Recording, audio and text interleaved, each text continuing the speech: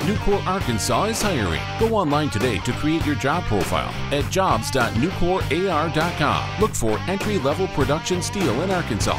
Average starting pay is $75,000. Medical, dental, vision, and life insurance included, plus education reimbursement and long term disability. Be ready to apply to join the Newport, Arkansas team starting on August 2nd at 7:30 a.m. Don't wait. Create your job profile today.